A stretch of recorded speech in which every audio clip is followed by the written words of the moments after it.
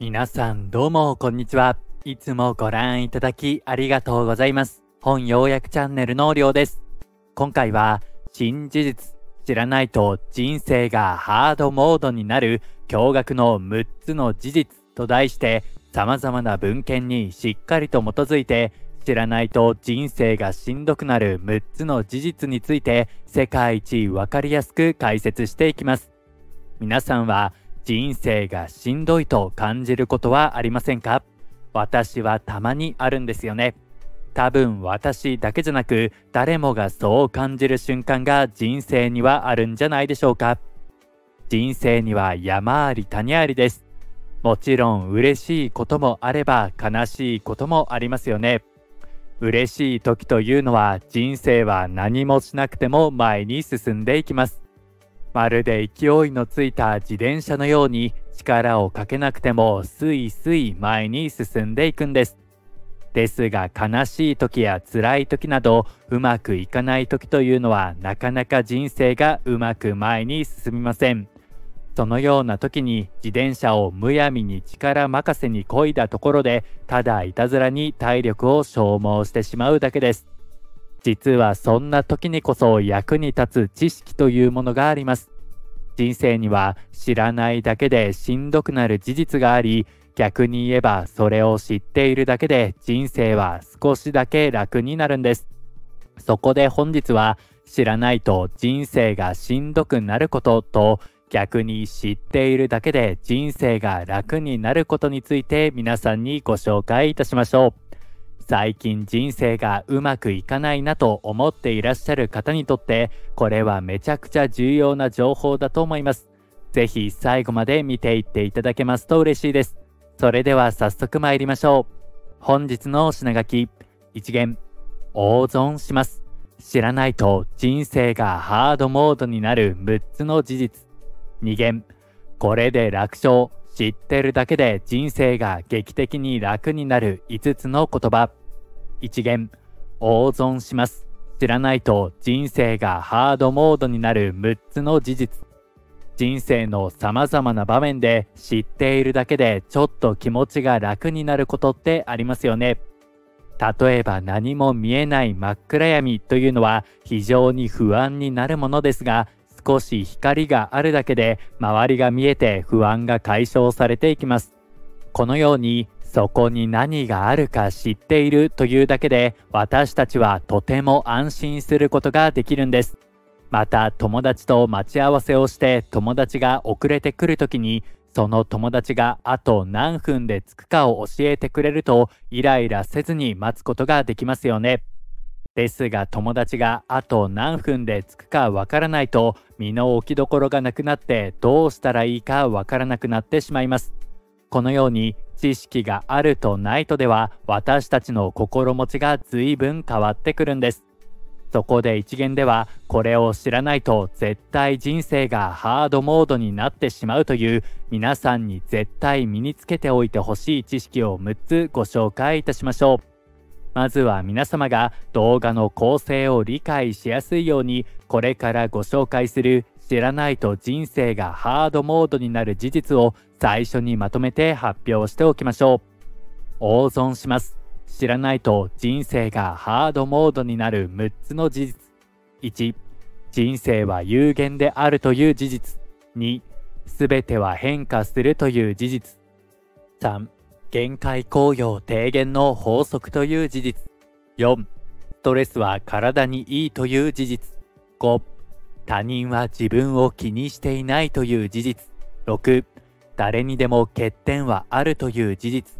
では、それぞれ具体的に一つずつ取り上げて解説していきます。知らないと人生がハードモードになる事実その1、人生は有限であるという事実。皆さんに絶対知っておいていただきたい知らないと人生がハードモードになることの一つ目は人生は有限であるという事実です。もちろんこのことは皆さん自身も頭ではよくわかっていることでしょう。人間誰しもが死ぬ運命にありますから人生が無限に続く人なんていませんよね。ですが私たちは日々の生活の中でそのことを忘れがちです。特に何か辛いことがあったり苦しいことがあった時まるで時間が無限に長いように感じられてその苦しみに押しつぶされてしまいそうになることがあるでしょうしかし私たちの人生は有限です人生は無限ではないどころかわずか100年足らずの非常に短いものなんです。ですから何か苦しいこと悲しいことがあってもそのようなネガティブな気持ちは必ずどこかで終わります。人生は終わりのない区域ではないんです。このように全てのことに終わりがあると考えることは私たちの人生のあらゆる面で役に立ちます。例えば学生の頃、皆さんは中間試験や期末試験が大嫌いでしたよね。ですがそのような大嫌いな試験もあと1週間で終わると思うことでなんとか頑張れたはずです。また混雑したバスや電車に立ったまま揺られるのはしんどいことですが、あと20分すれば目的地の駅に着くと思えば少しは我慢もできるようになります。ですがもしこれらがいつ終わるかわからないことだったらどうでしょうか？中間試験や期末試験がいつ終わるか知らされていなかったらまるでその区域が無限に続くように感じてしまいますよね。いつ到着地に着くかわからない満員電車や満員バスに立ったまま揺られなければならないのは本当に苦痛です。人生のどのような局面においても必ず終わりがあるのだということを常に意識しておくだけでこのような苦痛は晴れていきます。人生が少しだけ楽になるのでぜひそのような考えを身につけてみてください。さていかがでしたでしょうか？それではここまでで1つ目の人生は有限であるという事実についての解説を終わりにして次に参りましょう。知らないと人生がハードモードになる事実その2、すべては変化するという事実。人生に必ず終わりがあるということは苦しいことや悲しいことがいつかは終わってくれるというありがたい側面がある一方同時に嬉しいことや幸せもいつか必ず終わってしまうということを意味していますそこで知っていただきたいのが全ては変化するつまり諸行無常であるという事実です。子供の頃に夏休みが終わってしまう時、皆さんは本当に悲しい気持ちになったはずです。絶望に打ちひしがれて全く手をつけていない宿題の山を目の前にして泣き崩れたことがある方もいらっしゃるでしょう。それはまさしく私自身のことなんですけどね。諸行無常という言葉は平家物語の冒頭に出てくる言葉として有名ですよね。宇宙のすべてのものは移り変わり、生まれては死ぬ運命を繰り返します。故に永遠に変わらないものは一つもないんです。一言で言えば人生は虚しいものだということです。ものすごく調子が良くて健康な人もいつかは必ず病気をして死んでいきます。仕事が楽しくてどんどんお金が稼げる人もいつかは必ず稼げなくなります。そのような時、楽しかった過去にしがみついているといつまでも前に進むことができません。それはただ辛いだけなんです。そんな時に思い出してほしい言葉が諸行無常です。すべては変化するのが当たり前で人生山あり谷ありです。このように考えて病気や老いを受け入れることで私たちは困難を乗り越えて前に進むことができるんです。先ほど冒頭でも申し上げましたが、スピードがついている時、私たちは楽に自転車を漕ぐことができます。スピードが落ちてきた時こそ、私たちがいかに生きるかを試される時なんです。健康を損なってしまった時や、お金がなくなってしまった時など、辛いことがあった時は、ぜひこの諸行無常という言葉を思い出してくださいね。いかがでしたでしょうか？それではここまでで2つ目の全ては変化するという事実についての解説を終わりにして次に参りましょう。知らないと人生がハードモードになる事実その3。限界効用低減の法則という事実。知らないと人生がハードモードになることの3つ目にご紹介するのは、ちょっと難しい言葉かもしれませんが、限界効用低減の法則です。限界効用低減の法則はもともと経済用語でしたが、現在では心理学など様々な場面で使われるようになった概念です。限界効用低減の法則は簡単に言えば私たちを満足させるものの総量が増えても私たちが主観的に感じる満足度は徐々に減少していくという法則です。例えば皆さんが厚切りステーキが大好物だったとしましょう。お腹ペコペコの時に食べる一口目のステーキは最高に美味しくてそのまま天国に登ってしまうような感じがしますよね。ですが厚切りステーキを2口3口と食べていくにつれて一口目に味わったような満足感は得られなくなっていきます。さらに厚切りステーキをおかわりして2枚3枚と食べていくにつれてだんだん満腹になりそこまで美味しく感じられなくなるでしょう。このように厚切りステーキの量が増えているにもかかわらず私たちの感じる満足度が徐々に減少していく。これこそが限界工業低減の法則です。これを知らないと私たちの人生は様々な場面でハードモードになります。例えば男女関係です。好きな異性にプレゼントをもらった時、初めての時は飛び上がるほど嬉しかったでしょう。ですが毎回毎回デートでプレゼントをもらい続けているとたとえそのプレゼントの量や値段が上がっていったとしても満足感は徐々に徐々に下がっていきます。また初めの頃は近所の公園で会うだけでも嬉しかったのに会う回数を重ねていくにつれてその辺で会うだけでは満足できなくなってしまいますよね。このような時に限界効用低減の法則を知らないともしかして自分の気持ちが冷めてしまったのかな？とか、この人は運命の人じゃないのかもしれないといった間違った判断を下してしまうことがあります。ですが、限界効用低減の法則を知っていれば、プレゼントへの満足感が徐々に減ることや、会う回数を重ねると会うのがあまり嬉しくなくなってくることは自然の摂理なんだということがわかります。こうして本当は運命の人だった相手を切り捨ててしまうなんていうことがなくなるんです。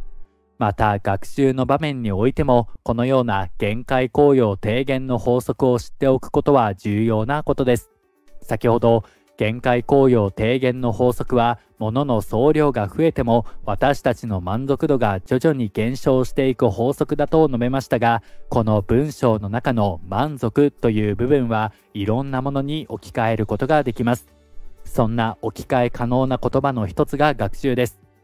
限界効用低減の法則を学習に応用すると勉強の量は増えているにもかかわらず私たちの学習効率は徐々に減少していくことがわかるでしょう。このことは小中学校で子供の頃から勉強させられてきた私たち日本人にはよくわかることです。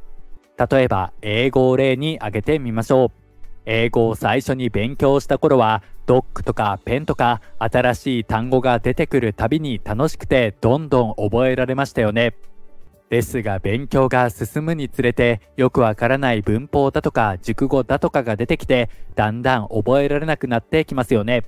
勉強の量は増えているにもかかわらずなかなか学習効果が上がらなくなってくるんです。そのように学習効果が上がらなくなるのは皆さんが無能だからではありません。限界効用低減の法則によって誰もがそうなる運命にあるんです。これは自然の法則なのだから仕方がありません。もしもこの時限界効用低減の法則を知らないと自分は勉強のできない無能なんだと思って学習するのを諦めてしまうかもしれません。ですが限界効用低減の法則を知っていれば誰でもこの壁にはぶち当たるんだと思ってモチベーションを維持することができます。このチャンネルで常々お勧めしている通り、年を取るほど障害学習が非常に重要になってきます。このように人生のあらゆる場面で限界効用低減の法則が当てはまることを知っておくことは判断を間違えないためにも重要なことです。ぜひとも頭の片隅に置いておいてくださいね。さて、いかがでしたでしょうか？それではここまでで3つ目の限界効用低減の法則という事実についての解説を終わりにして次に参りましょう。知らないと人生がハードモードになる事実その4、ストレスは体にいいという事実。知らないと人生がハードモードになってしまう事実の4つ目にご紹介するのは、ストレスは実は体にいいケースもあるということです。ストレスはまるで悪者のように扱われていますよね。現代社会はストレス社会であるとも言われており、ストレスが私たちの心身に様々な悪影響を及ぼすとされています。ですがそのように私たちの人生に悪影響を及ぼしてしまうストレスはあくまで長期的で慢性的に続くストレスだけです。そのように長期的慢性的に続くストレスは私たちの体内に慢性炎症を発生させてしまいます。慢性炎症が私たちの心身の健康を蝕む悪いやつであることはこのチャンネルをご覧の皆さんであればよくご存知のことでしょう。ですからこのような長期的慢性的なストレスがやはり忌むべきものであることは当然です。ですが人生には一方で短期的で私たちの人生にメリハリを持たせてくれるいいストレスというのが存在します。そのことを知らずにストレスは全て悪いものだと思ってしまうと人生をハードモードに感じてしまうようになるでしょう。短期的ないいストレスの例としてしばしば挙げられるのが運動です。運動というのは他でもなく私たちの体に負荷をかけるものですから当然ストレスがかかりますよね。にもかかわらず運動するとストレス発散になると言われるのはなぜでしょうかストレスがかかることがストレス発散になるというのは一見矛盾に思えますが、実は運動による短期的なストレスは私たちの脳でセロトニンという幸福ホルモンを分泌します。このセロトニンのメリットがストレスのデメリットを上回ることで運動をすると結果的にストレス解消になるんです。また短期的ないいストレスの例として新しいことにチャレンジするということも挙げられます。新しいことにチャレンジするというのは誰にでも勇気がいることですよね。自分が慣れ親しんだコンフォートゾーンを抜け出すことは私たちの心に多少のストレスがかかるためです。ですが、新しいことにチャレンジすることで発生するストレスは私たちの脳を活性化してくれることが分かっています。常に新しい刺激を脳に与えることで脳が活性化し、脳細胞を若々しく保つことができるんです。このように短期的なストレスは私たちの健康にいい影響を与えるということを知っておくと少しぐらいの苦しみや痛みは我慢できるようになります。むしろストレスが健康にいいと意識することで我慢どころかちょっとした苦痛を楽しむことができるようになるでしょう。きっと今、この動画をご覧の多くの皆さんが運動嫌いでやらなければならないと思っているのになかなか運動を始められないのではないでしょうか。また多くの人が新しいことにチャレンジしたいけど億劫でできていないのではないでしょうか。ですがそれらはちょっと嫌だからこそ私たちにとってプラスに働くんです。心身の若々しさを保つために、ぜひともそのことを知っておいていただきたいと思います。さて、いかがでしたでしょうか？それではここまでで4つ目のストレスは体にいいという事実についての解説を終わりにして次に参りましょう。知らないと人生がハードモードになる事実その後、他人は自分を気にしていないという事実。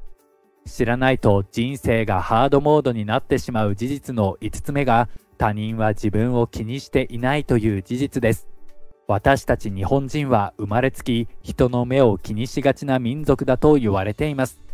これは日本が島国であるということが関係しているかもしれません。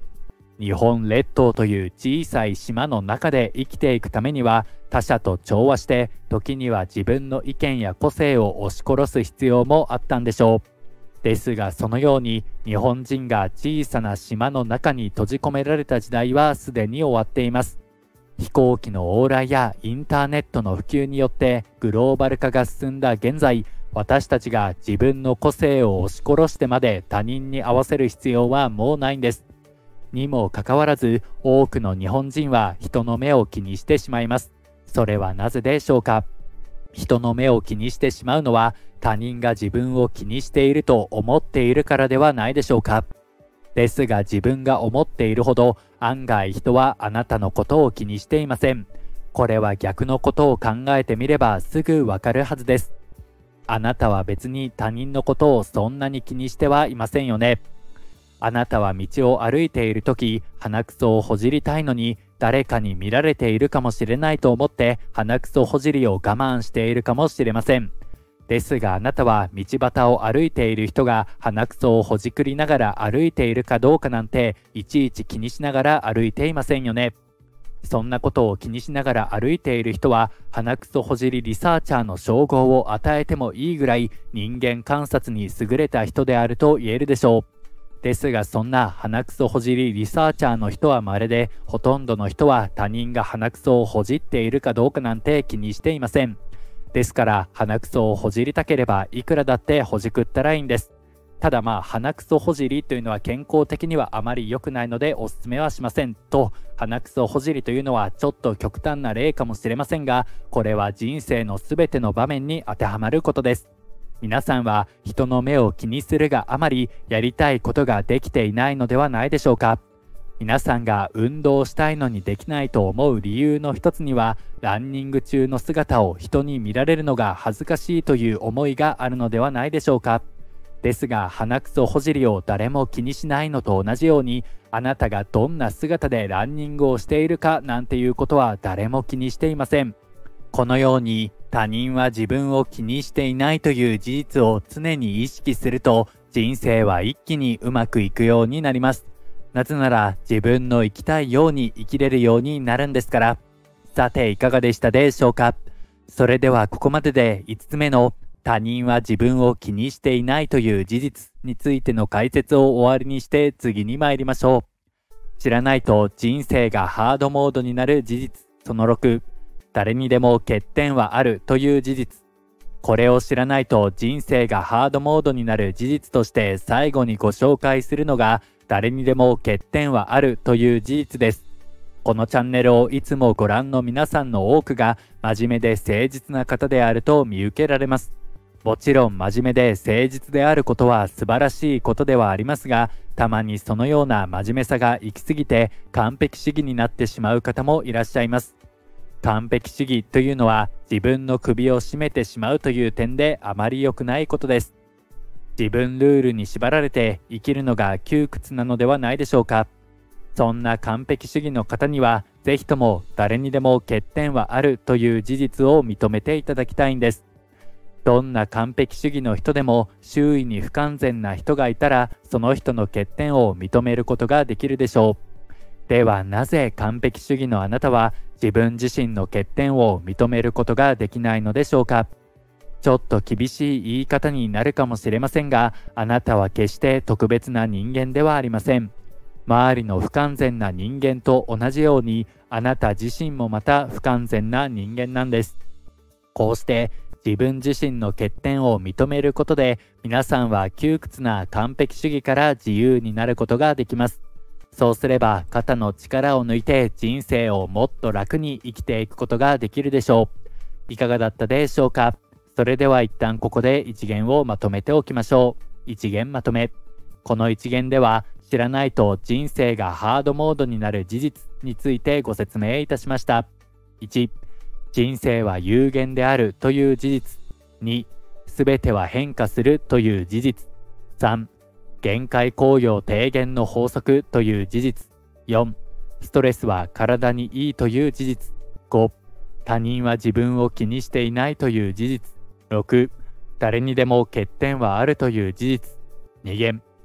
これで楽勝。知ってるだけで人生が劇的に楽になる5つの言葉。一元では知らないと人生がハードモードになる事実を6つご紹介いたしました。実はこれら以外にも知っておくだけで人生がイージーモードになるチートコードのような事実がいくつか存在します。2限ではそれらについてご紹介していきましょう。まずはこれから紹介する知っているだけで人生が劇的に楽になる言葉を最初にまとめて発表しておきましょう。これで楽勝、知ってるだけで人生が劇的に楽になる5つの言葉。1、レジリエンスを高めて即立ち直るための言葉。2、宝くじに当たるより幸福になれる魔法の言葉。3、お金がないのが苦じゃなくなる言葉。4、孤独を楽しむための言葉。5、自分だけの幸せを手に入れるための言葉。では、それぞれ具体的に一つずつ取り上げて解説していきます。知ってるだけで人生が劇的に楽になる言葉その1。レジリエンスを高めて即立ち直るための言葉。知っているだけで人生が楽になる言葉の一つ目は、誰にでも辛いことがあるという言葉です。何か辛いことがあった時、まるで世界で自分だけが苦しい思いをしているような気になってしまいますよね。ですが世界にはおよそ80億人もの人間が存在します。今この瞬間に苦しい思いをしているのは決してあなただけではないんです。実はこのように誰にでも辛いことがあると思うだけであなた自身のレジリエンスが高まるという心理学の研究があります。このレジリエンスとは回復力やしなやかさを意味する言葉です。木の枝は少しぐらい体重をかけても手を離せばすぐに元のまっすぐな状態に戻ってくれますよね。これは木が持つしなやかさのおかげです。私たち人間もまたこのようなしなやかさ、つまりレジリエンスを持つことで回復力をぐっと高めることができます。そしてレジリエンスを高める鍵こそが誰にでも辛いことがあるという言葉なんです。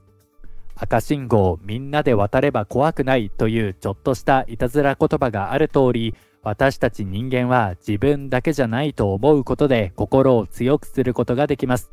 もちろん大人数だからといって赤信号を渡っていいわけではありませんが少なくとも自分だけじゃないと思うことで心が強くなるという事実を知っておくことは人生において有用なことでしょう。何か苦しいことや辛いことがあったらぜひとも辛いのは自分だけじゃないんだと思うようにしてください。さていかがでしたでしょうか？それではここまでで1つ目のレジリエンスを高めて即立ち直るための言葉。誰にでも辛いことはあるについての解説を終わりにして次に参りましょう。知ってるだけで人生が劇的に楽になる言葉その2宝くじに当たるより幸福になれる魔法の言葉。知ってると人生が楽になる言葉の2つ目はあなたが生まれてこられた確率は400兆分の1であるという言葉です。この言葉はアメリカのプレゼンテーション番組 TED で有名なアメリカの講演家メル・ロビンズさんの言葉です。この400兆分の1という数字はある科学者が算出した数字で私たちが健康に生まれてこれる確率を意味しています。この確率には戦争や自然災害病気や分娩時のトラブルに至るまで私たちが生まれてくることを阻害するようなありとあらゆるイベントが考慮されていると言います。つまり私たちは生まれてきた時点で超ラッキーなんです。宝くじの1等が当たる確率はおよそ1000万分の1程度であると言われています。つまり私たちが生まれてきたのは宝くじが当たるよりもずっとずっとラッキーなんですね。生まれてきた時点で不幸な人など存在しませんそう思えばちょっとだけ人生が楽に感じられますよねさていかがでしたでしょうか？それではここまでで2つ目の宝くじに当たるより幸福になれる魔法の言葉あなたが生まれてきた確率は400兆分の1についての解説を終わりにして次に参りましょう。知ってるだけで人生が劇的に楽になる言葉その3。お金がないのが苦じゃなくなる言葉。知っていると人生が楽になる言葉の3つ目は、お金は最低限あればいいという言葉です。先ほど一元でご紹介した限界効用低減の法則からもわかる通り、お金は持てば持つほど満足度が減少していきます。最近では世帯年収600万円程度が最も幸福で、そこからは収入が上がっても幸福度は上がらないという調査結果もあります。世帯年収600万円というのはそこそこの額ですが、私は個人的にはそこまでお金はいらないと思っています。なぜなら幸福な人生というのは健康とほんの少しの日々の楽しみがあれば十分だと思っているからです。私たちは健康でありさえすれば道端に咲いている花を見てそれに喜びを覚えることもできます。天気のいい日に外に出て深呼吸したり、雨の日に屋根を叩く問いの音に耳を澄ますだけでも、私たちの心は安らいでいきます。このようなちょっとした幸福は全て無料で感じることができますよね。つまり私たちは健康であればお金なんていらないんです。日本は社会保障が充実していますから幸福に生きていくためには最低限のお金があれば足ります。この事実を知ることでお金の欲から自由になり目の前にある小さな幸福に気づくことができるでしょう。それこそが幸せに生きるための第一歩なんです。さていかがでしたでしょうか？それではここまでで3つ目のお金がないのが苦じゃなくなる言葉。お金は最低限あればいい。についての解説を終わりにして次に参りましょう。知ってるだけで人生が劇的に楽になる言葉その4孤独を楽しむための言葉。知ってるだけで人生が楽になる言葉の4つ目は孤独は素晴らしいという言葉です。昨今は孤独死という言葉に代表されるように中高年以上の孤独が社会問題化していますよね。ですが一方でここという言葉があることからもわかる通り自ら望んで得た積極的な孤独というのは人生の後半を豊かにしてくれる素晴らしいものであるはずです。以前このチャンネルではちょうどいい孤独60代からはソロで生きるというベストセラー本を要約させていただいたことがあります。この本の中で著者もおっしゃっている通り中高年以上からはいかに孤独を味方につけるかが人生の醍醐味になってきます。自分で自分自身を楽しませる術を習得することで孤独は辛く悲しいものではなく人生を豊かにしてくれる素晴らしいものに変化するんです。ちょうどいい孤独60代からはソロで生きるの要約については概要欄にリンクを貼っておきます。本当に素晴らしい本ですのでぜひともご覧になってみてください。さていかがでしたでしょうか？それではここまでで4つ目の孤独を楽しむための言葉望んで得た孤独は素晴らしいについての解説を終わりにして次に参りましょう。知っているだけで人生が劇的に楽になる言葉その後。自分だけの幸せを手に入れるための言葉。知っていると人生が楽になる言葉の最後にご紹介するのは幸せの定義は自分が決めていいという言葉です。皆さんは幸福の条件は何だと思いますか？結婚でしょうか？それともお金でしょうか？もしそのような条件が皆さんが自分自身で決めたものであるならそれでいいでしょう。ですがもし幸せの定義が皆さんが決めたものではなく世の中や世間によって決められたものであるならそれは一旦手放す必要があります。当たり前のことですが皆さんの人生は皆さんだけの人生です。幸せの定義は皆さん自身が決めていいんです。たとえ世の中が孤独は悪だと言っていても皆さん自身が孤独が幸せの定義だと思えば人生にとって孤独は幸せなものとなります。世の中がお金がないことは悪だと言っても皆さん自身が満足していればそれで十分なんです。幸せの定義は自分で決めていい。ぜひともこの言葉を心に留めて自分自身の幸せを探してみてくださいねいかがだったでしょうか？それでは2限をまとめておきましょう。2限まとめ。この2限では知ってるだけで人生が劇的に楽になる言葉についてご説明いたしました。1、レジリエンスを高めて即立ち直るための言葉。それは誰にでも辛いことはあるという言葉でした。2、宝くじに当たるより幸福になれる魔法の言葉。それはあなたが生まれてきた確率は400兆分の1という言葉でした。3お金がないのが苦じゃなくなる言葉。それはお金は最低限あればいいという言葉でした。4孤独を楽しむための言葉。それは望んで得た孤独は素晴らしいという言葉でした。5自分だけの幸せを手に入れるための言葉。それは幸せの定義は自分自身で決めていいという言葉でしたいかがだったでしょうか？本日は以上になりますここまで長らくご清聴ありがとうございました。この動画良かったよという方、ぜひぜひ高評価ボタンだけでもポチッと押していただけますと励みになりより一層頑張れますのでよろしくお願いいたします。それではまた次の動画で会えることを楽しみにしています。さようなら。